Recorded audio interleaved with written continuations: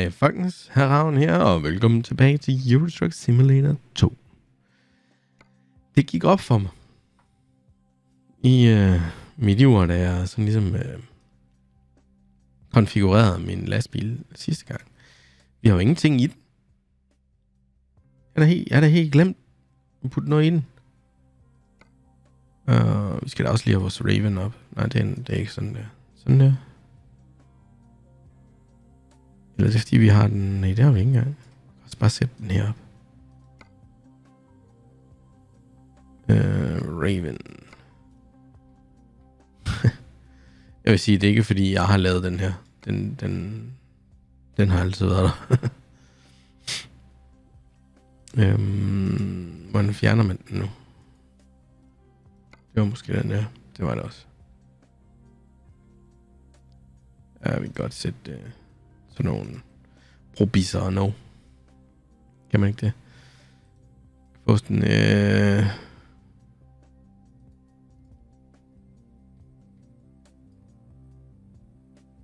kunne godt være, at man skulle bytte rundt på de der.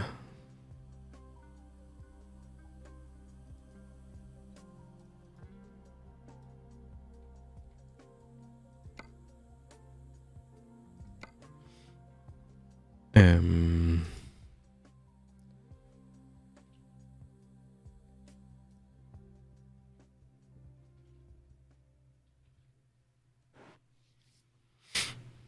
The Raven. Sådan der, og sådan der. Oj, cool. Hvad kan vi herover? herovre? Øh... Oh, nice. Uh. Det kan jeg faktisk godt lide.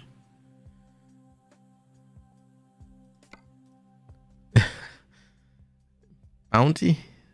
Den er kørende helt, helt pjatte med. Sådan en tyr. Den kan nemlig godt lide kokos. Og lige en blok derovre, og blok mere der. Kan ikke nå helt over alligevel.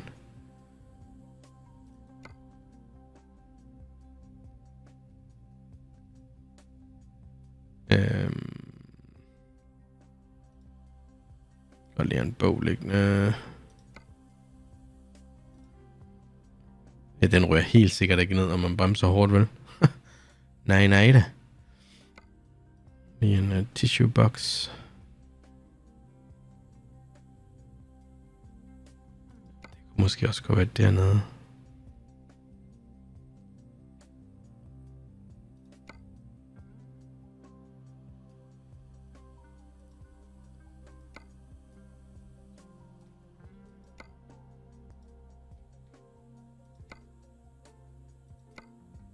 Øhm. Jeg kan godt lige lægge sådan en polo. Har vi ellers at arbejde med?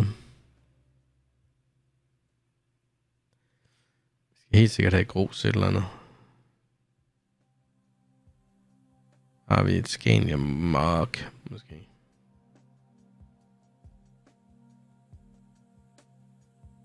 Milan, Manchester. Øh. Mm. X. Og kan også tage en Darth Vader.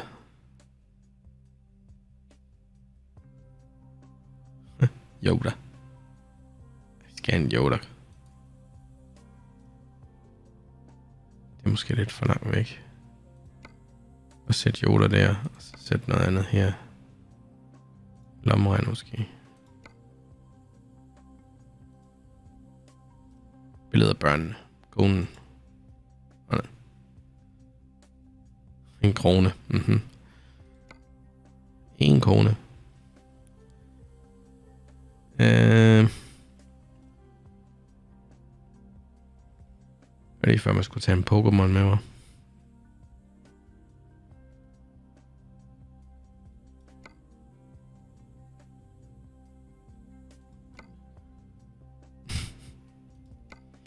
C3PO. Mm-hmm. Jeanette. Darth Vader. And, ah.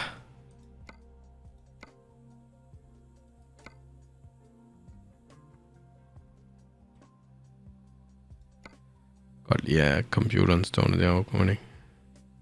Jeg ved, om den kører som GPS, så. Det finder vi ud af.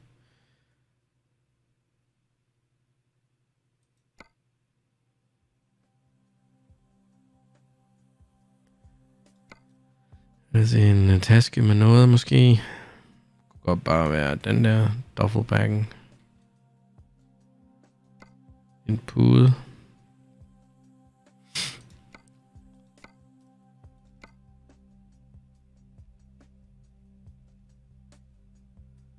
Lad os se her. first aid.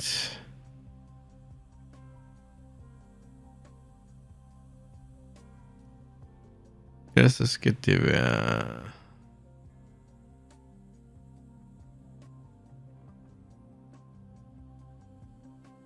Ellers så skal det være tasken. Står deroppe, og så skal den der, det skal være en eller anden frysetaske eller sådan en. Er der ikke noget med, der er sådan en frysetaske? Vi Igen beskidt Arto Dito med. Mhm. Guitar. Det giver ikke nogen mening. En elgitar. Wow, bam, bam, wow. Øh, køletasken. Sådan.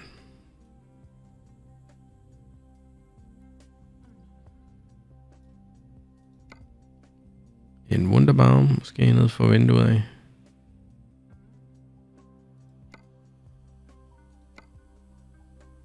Uh, lighting.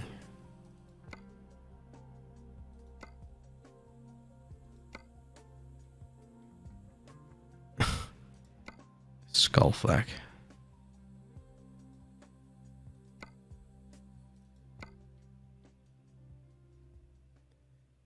By, uh, bare lige for Oner, min kammerat, som er pirat.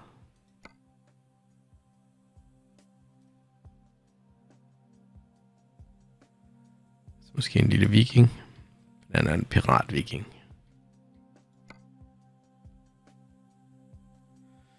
Wow, der går nok mange forskellige ret.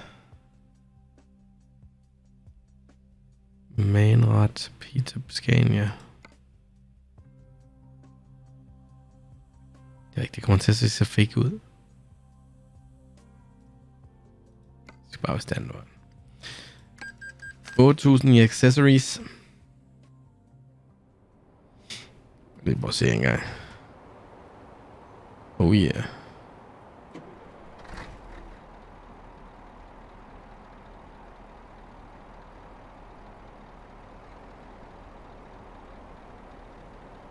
Se om uh, det virker. Nej.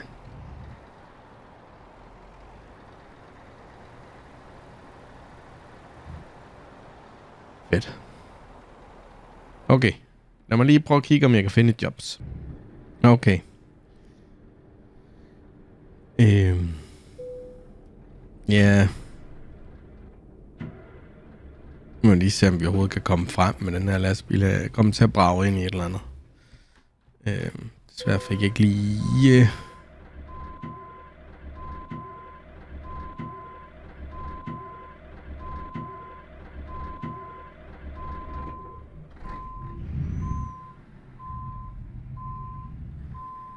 må se, hvornår det bliver træt. 13. øhm, ja. Jeg fik et job til, øh, til Tjekkiet. Øhm, så nu håber jeg, jeg kan nå det op med en totalt smadret lastbil. Men må ikke? Ja, det bliver sgu da meget godt. Ja, det er en GPS. Nice. Er faktisk også okay stort. Måske skulle man have sat den der.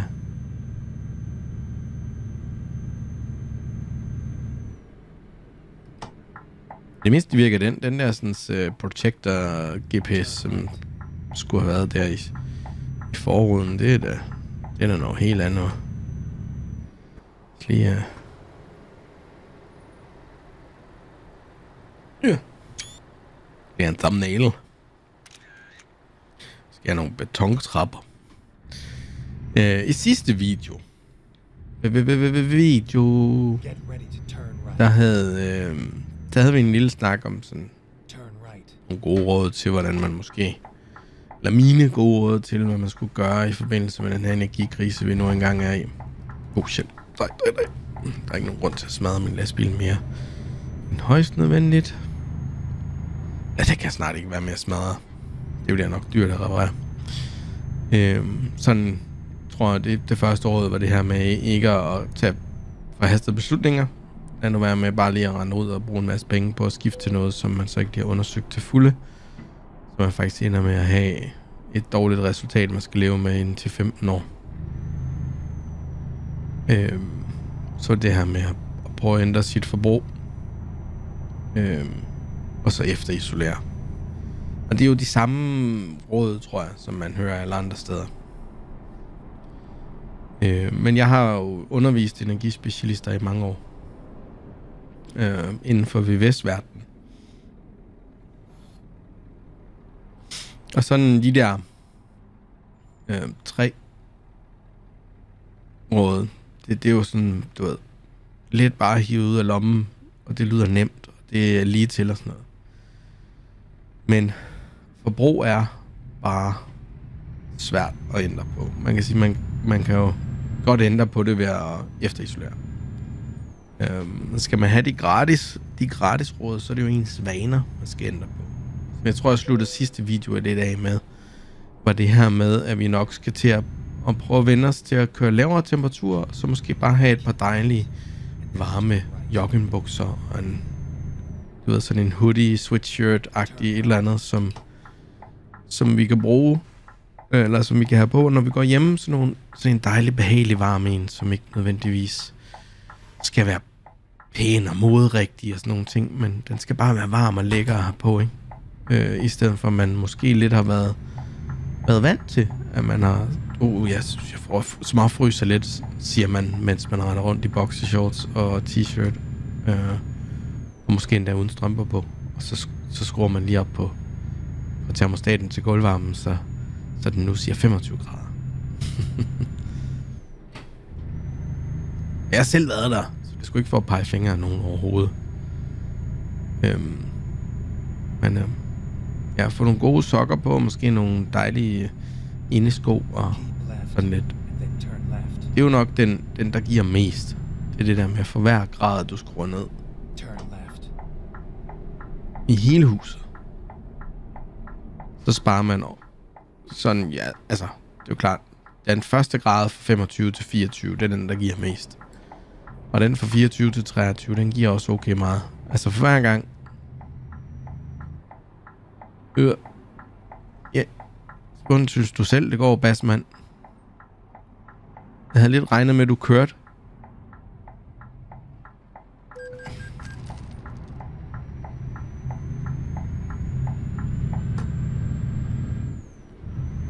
Kan ikke holde stille lige for en snotten på mig. det giver ikke nogen mening. Jeg er godt klar over, at AI'en troede øh, måske, at det var lidt længere hen. Og whatever. Det er også lige meget. Beklager. Øhm. Hvad hedder det? For hver grad, der er der altså nogle penge at spare. Kan man, kan man Kan man bare tage lidt tøj på? Ja, det kunne man måske godt. Øh, så er der bare sådan nogle generelle råd. Gode råd til, uanset om du har fjernvarme, eller om du har øh, gas, eller olie, eller pillefyr, eller pillefyr er måske et dårligt eksempel. Øh, men det er sådan noget andet. Øh, gode råd. Øh, de ikke de fleste, men med mange har gulvvarme. Og gulvvarme, så det, der er det vigtigt, at føleren, der føler på rummet, er placeret korrekt. Øhm, den skal helst ikke sidde på en ydermur.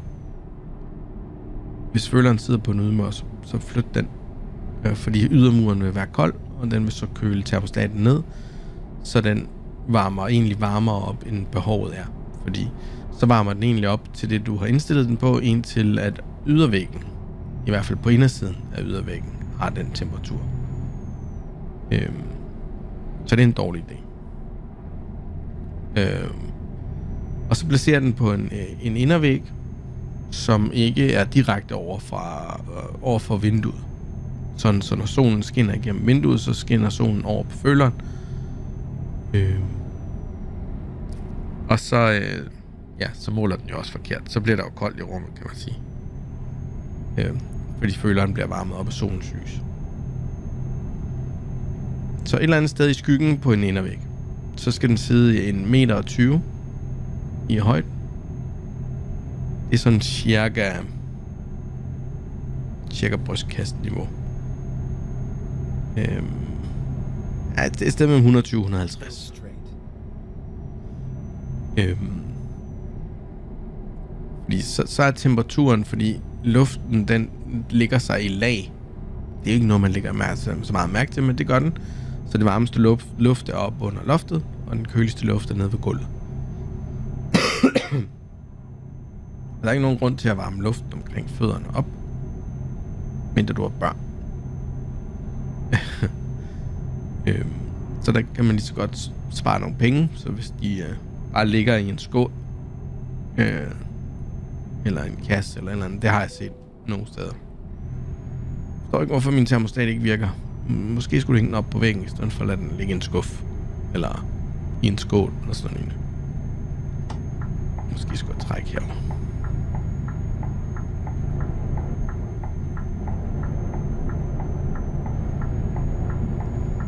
Øh.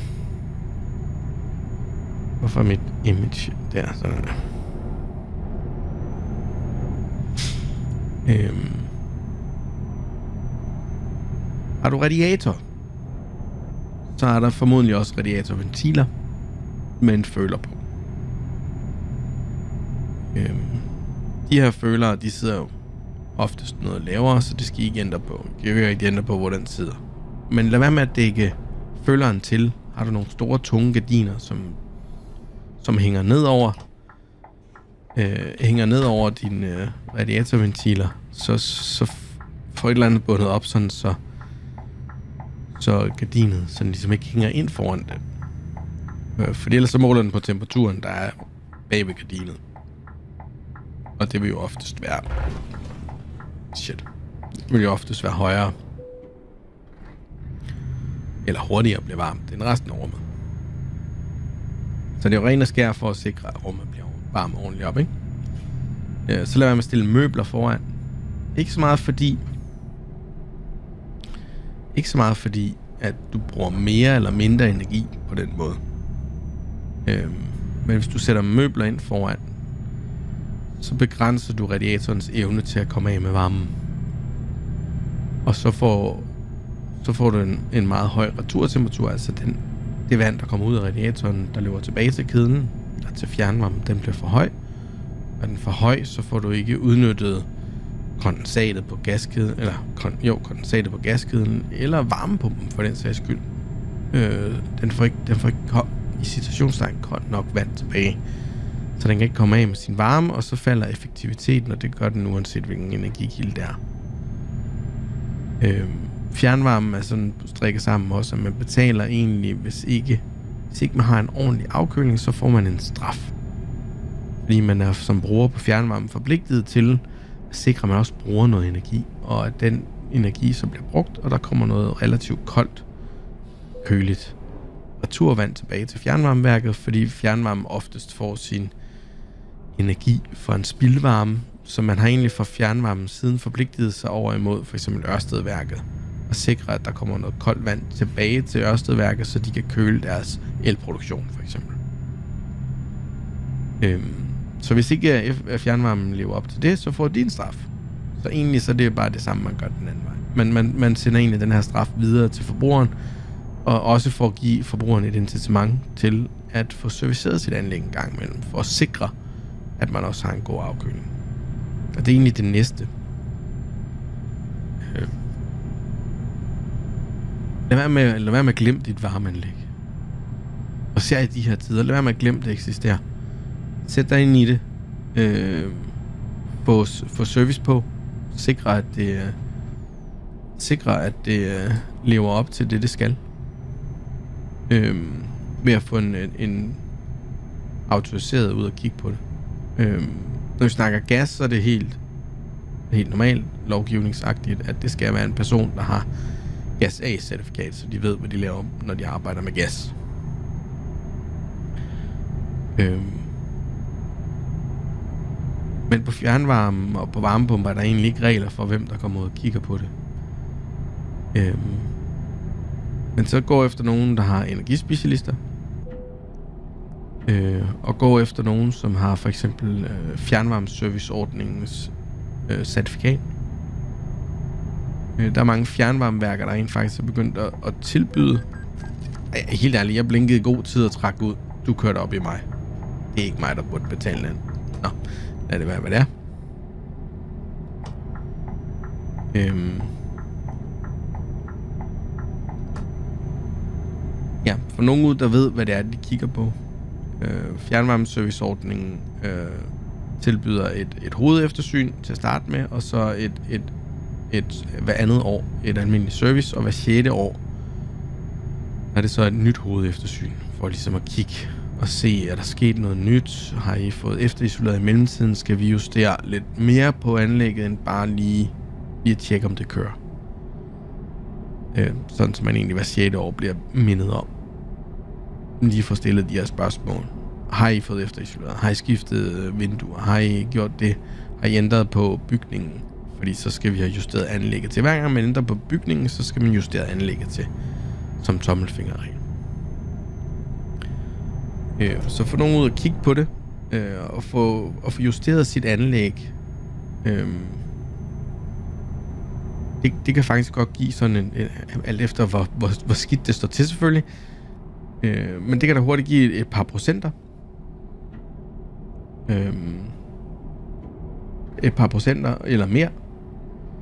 Øh, hvis du nu sætter dig ind i den styring, som der er, nu når de er der, så spørg, hvordan, hvordan justerer jeg, hvordan Hvordan stiller jeg det? Så kan du måske øh, sætte øh, varmekur, eller ikke varmekur, det er måske ikke så meget dig, men, men, men hvis ikke den er indstillet korrekt, så, så, så spilder man nogle penge. Men det ordner de, det skal du ikke tænke på. Øh, hvis det er mere sådan, du ved, hvordan sætter jeg natsænkning, hvordan sætter jeg...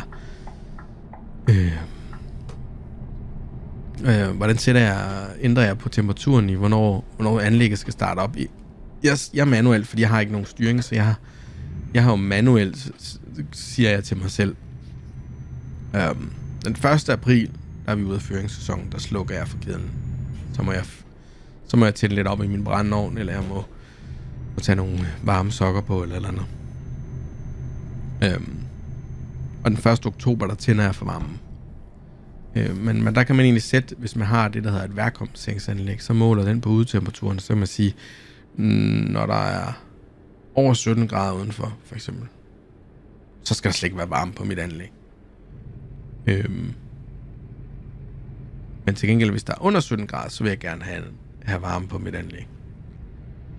Øhm, så kan man sætte nat, natsænkning eller periodesænkninger, sådan som, jamen, ja, altså, jeg er oppe, jeg står klokken 6, kan bare arbejde klokken 8. Øhm, så så, så lad, lad anlægget varme op til 20 grader øh, fra klokken halv seks, og så til klokken øh, 8. Når jeg så kører ud, for, ud af døren, der skal, der skal bygningen egentlig bare holdes. Der skal bygningen egentlig bare holdes varm.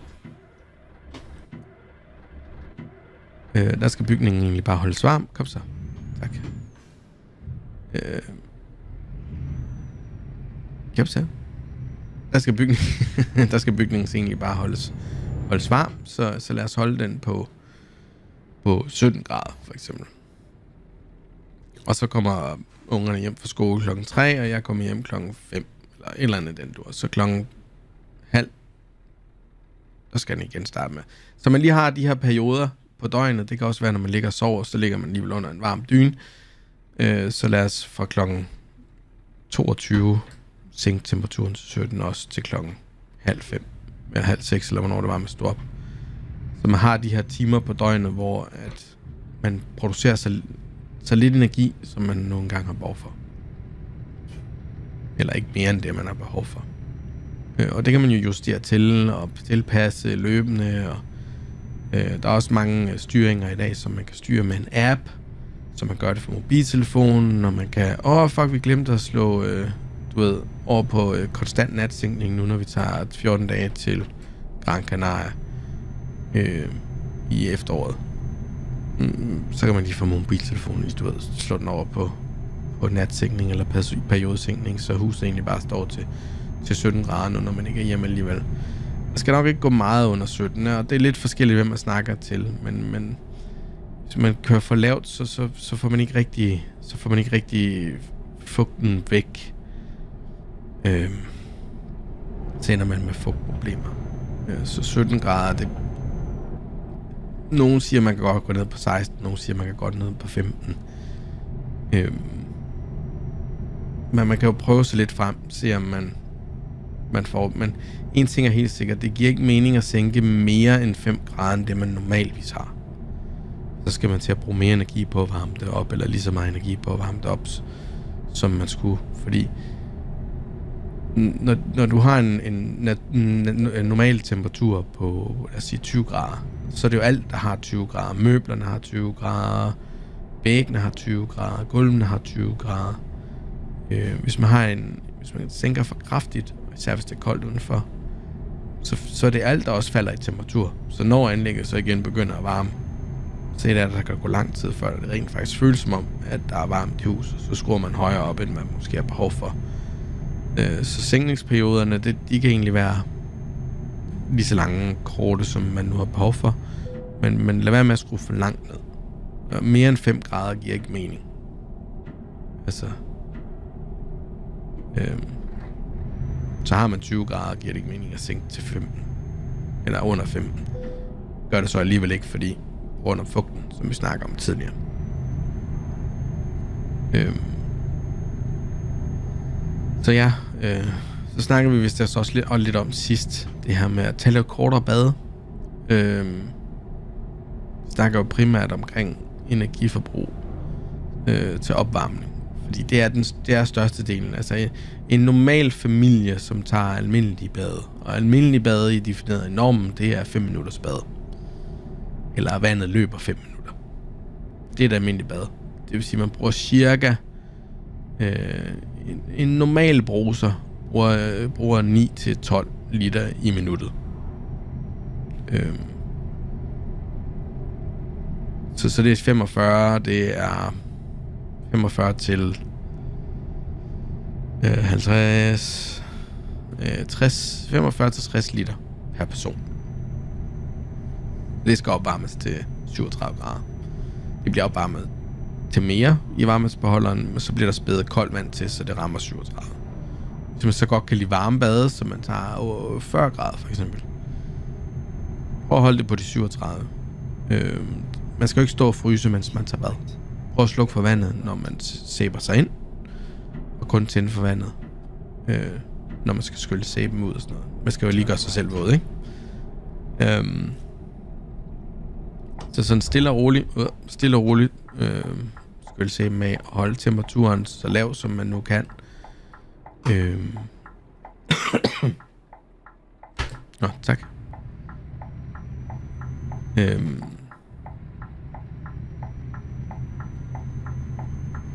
Ja, hold temperaturen så lav som muligt, øh, og hold badene så kort som muligt. Øhm.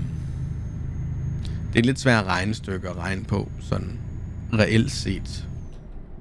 Øhm øh, hvad en liter vand koster. Nej, det er en tusindedel. Øh, der er, den, den tusindedel per grad. Så vandet kommer ind fra vandværket af, så er det cirka 10 grader. Så hvis du tager bad i 40 grader, så skal det opvarmes 30, 30 grader. Øhm, 1 kubikmeter vand opvarmet 1 grad bruger 1,16 kWh. Øhm, så 30 grader, det er jo så 30 gange 30. det er 30, det er 2, 33, 33 kWh på en kubikmeter. Øhm, og hvis det er så gas, så er det jo så cirka 3 kroner. Så det er 90, det er 900 kroner for at opvarme 1 kubikmeter vand. 30 grader. Og hvis du så tager et bad på, almindelig bad på 5 minutter, så bruger du cirka 50 liter. Tager du øh, 10 minutters bad, så bruger du cirka 100 liter. Øh, og hvis du så tager bad hver dag og bruger 100 liter, så er, det, så er det 700 liter på en uge. Hvis det så er lidt længere, lad os sige en kubikmeter, så det koster 900 kroner om ugen for en person, der tager cirka 12,5 minutters bad. Med de nuværende priser. Cirka. Øh, som jeg også lidt snakker om sidste gang, hvis man nu godt kan lide de lange bade, Øh, kunne man så eksempelvis, og, nu, og, og, og jeg ved godt, øh, måske ligesom sidste gang, så er jeg sådan lidt bange for, at det bliver upopulært. Behøver man egentlig at tage bad hver dag? Behøver man at tage 20 minutters bad hver dag? 20 minutters bad, det er jo så cirka, det er jo så cirka 200 liter, ikke? Det vil sige, det er 1400 liter. Det er 1,4 kubikmeter. Det er 1000 kroner om ugen. Det lyder lidt højt. Jeg ved, om der er noget galt i mit regnstykke. Øhm.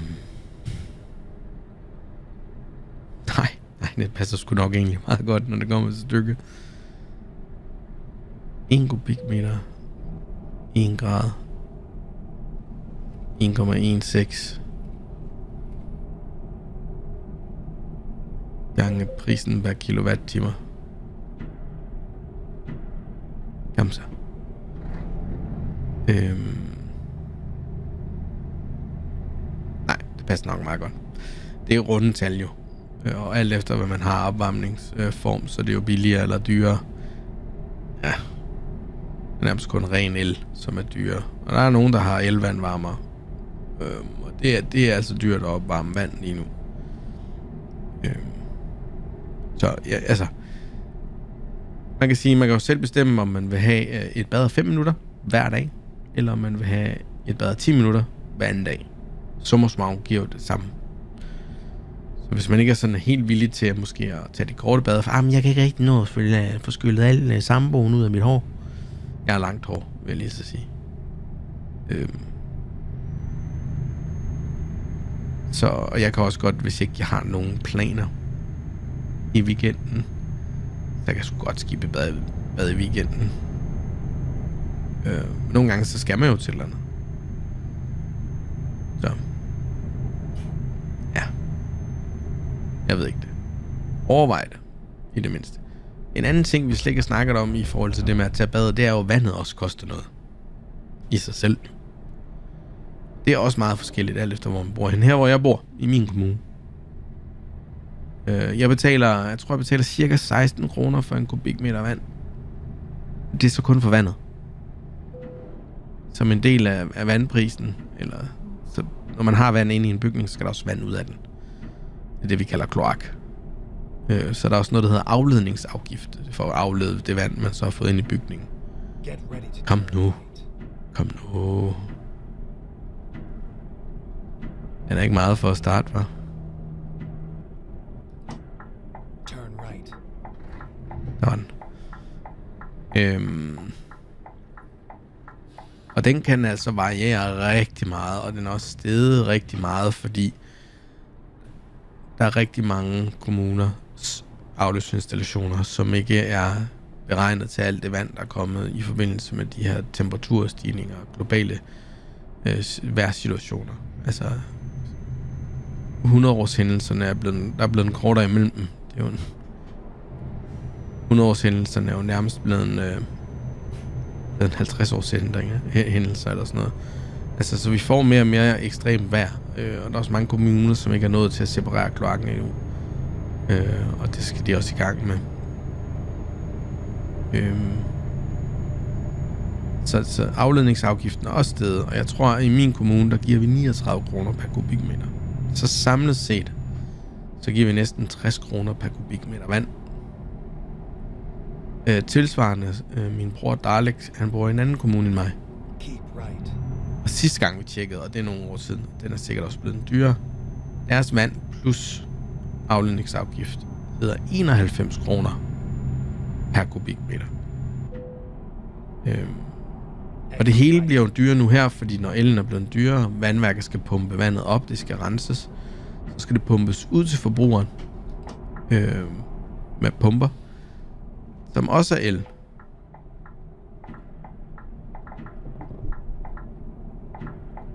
så.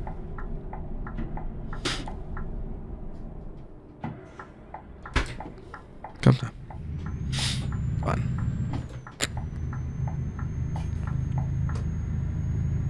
Så både vand, ja, vandprisen vil i hvert fald stige. Øh, nu her på grund af stigende elpriser. Det kan, det kan ikke undres. Eller det kan da ikke ske noget, hvis... Øh, så der ligger dem betaler måske over 100 kroner nu per kubikmeter vand. Øh, så det er jo en anden grund til at spare på vandet. Et er, at det også skal opvarmes. Så Ja. Mm, altså forbrugsmønstre og vaner og sådan noget, det, de er gratis at ændre. Og kan give relativt meget. Altså, er ens anlæg gammelt? Øh, det kan godt være, at man har et gammelt fjernvarmeanlæg.